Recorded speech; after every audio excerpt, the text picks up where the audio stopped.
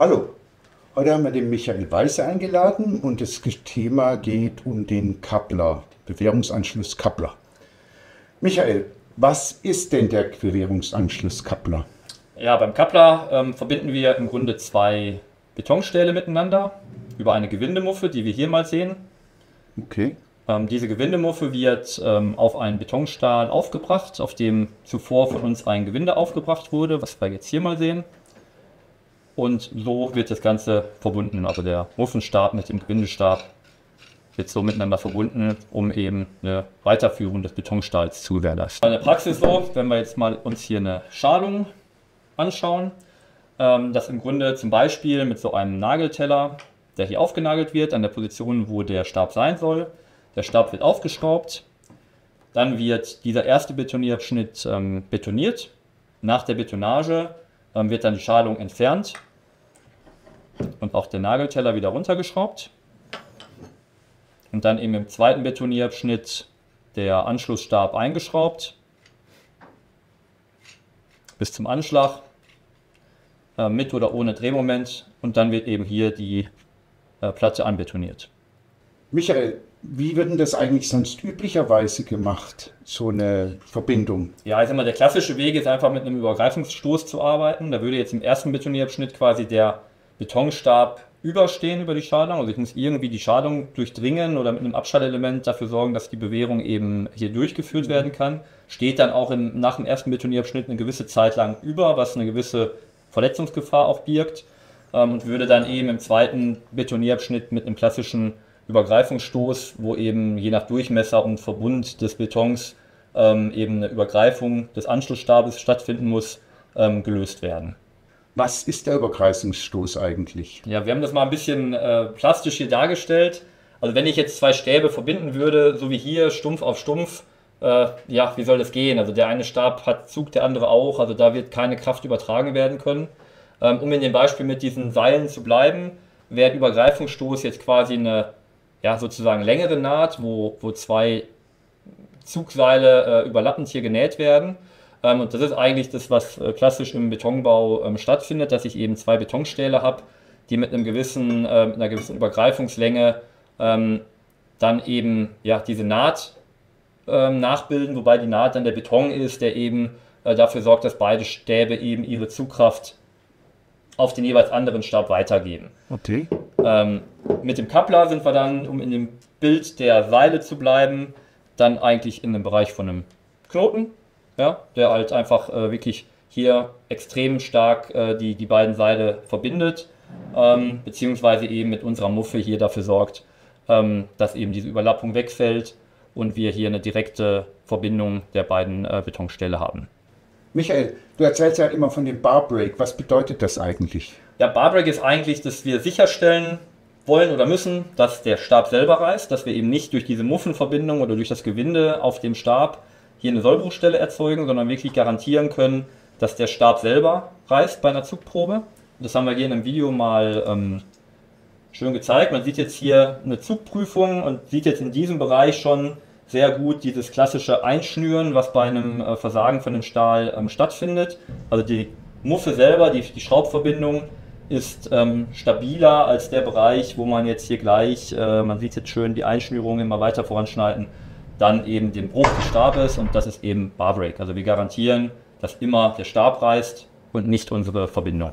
Okay, wie wird denn das jetzt hergestellt eigentlich? Ja, da haben wir auch nochmal eine kurze Beschreibung mitgebracht. Also im ersten Schritt wird der Stab ähm, kalt verformt, gestaucht, was einfach die, ähm, das Gefüge des Stahls durch die Kaltverformung ändert und verbessert. Ähm, in dem nächsten Schritt wird dann ähm, der Betonstahl geschält, dass ich eben eine eine glatte, gute Oberfläche habe. Ähm, und dann wird das Gewinde auch nicht geschnitten, sondern gerollt. Ähm, und durch dieses Aufstauchen und auf äh, Rollen des Gewindes ähm, habe ich zum Beispiel bei einem äh, 20er Stab einen M22 Gewinde. Also ich habe hier eine, ein größeres Gewinde, größer als der Stab ist und mit dieser Kaltverformung ähm, dadurch ergibt sich eben äh, dieses Bar Break, weil ich einfach eine stabilere Verbindung habe als der freie Stab. Wie, was muss man denn jetzt bei der Montage von den Kapplern beachten? Ja, zum einen natürlich, dass die Gewinde vernünftig verbunden sind, dass ich die richtige Größe nehme, klar.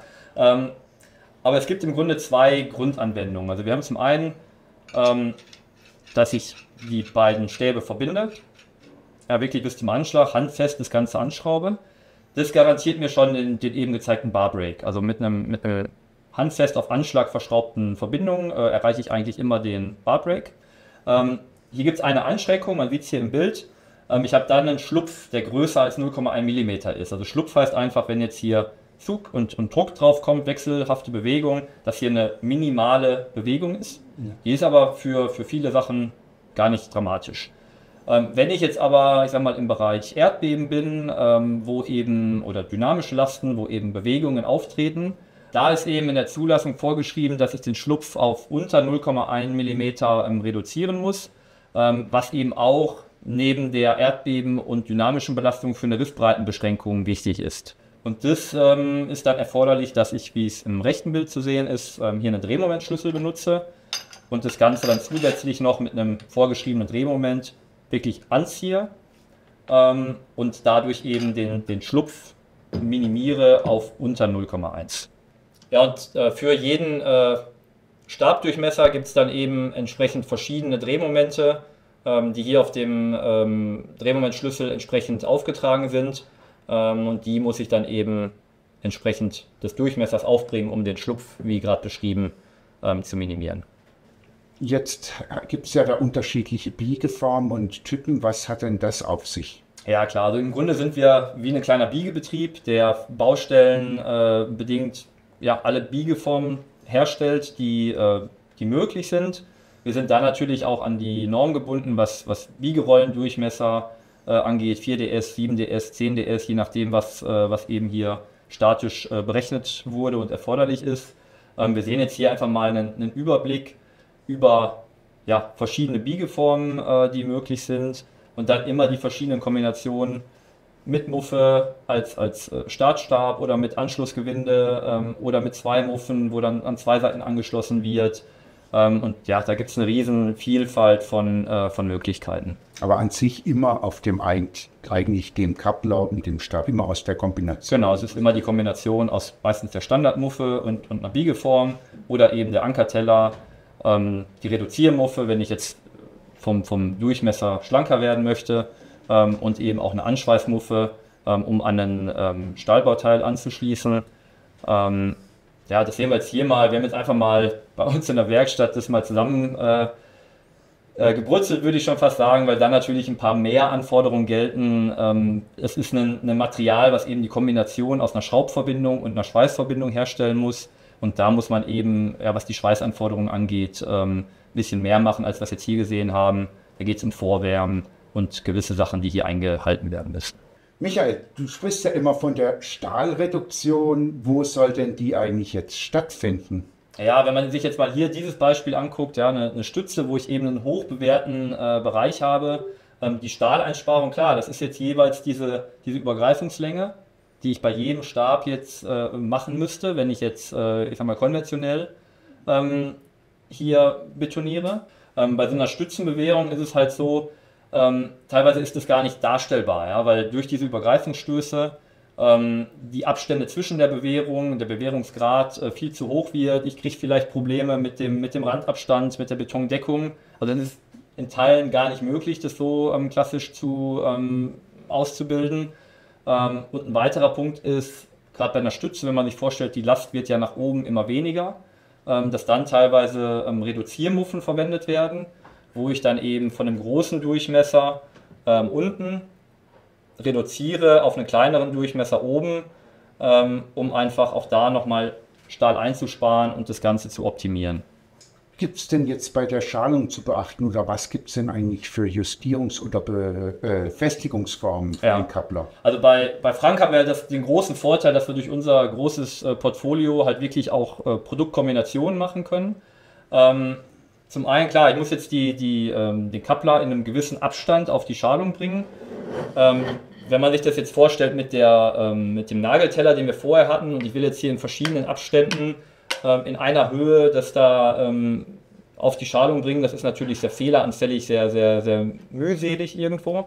Ähm, da gibt es dann eine ja, Schalbox für, wo eben die Abstände der Kappler von uns vorgefertigt werden und die dann auf die Schalung in, in, in, Reihe genagelt wird, was man jetzt äh, hier mal sieht. Also diese Abstände ähm, sind auf Kundenwunsch vorkonfektioniert und ich habe jetzt hier, ähnlich wie die Starbox, äh, einen einreihigen Kasten, der in der Regel 1,25 Meter lang ist oder auch nach Kundenwunsch äh, entsprechend Längen hat, wo dann eben die Abstände horizontal ähm, entsprechend vorgefertigt sind.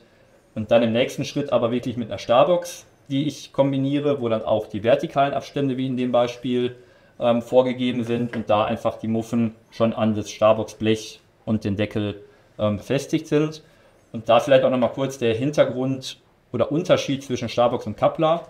Ähm, ich habe hier natürlich jetzt die Möglichkeit, Durchmesser 16 und größer ähm, zu verwenden, was bei der Starbox eben nicht mehr möglich ist. Ich kann hier nicht mehr das vernünftig ausbiegen. Ähm, die Lasten wären für eine Starbox viel zu hoch und da kommt eben hier die Kombination aus einem Starbox-Kasten und einem Kappler-Schraubanschluss ähm, dann in dem Beispiel hier zum Tragen. Okay, jetzt gibt es ja noch weitere Formen. Ja, genau. Wenn ich jetzt, ähm, ich sag mal, wirklich in einem, in einem Bereich Bodenplatte wäre jetzt zum Beispiel bin, wo einfach auch der Abstand zwischen den Kapplern deutlich größer ist, weil ich jetzt mit einer Starbox nicht mehr abbilden kann.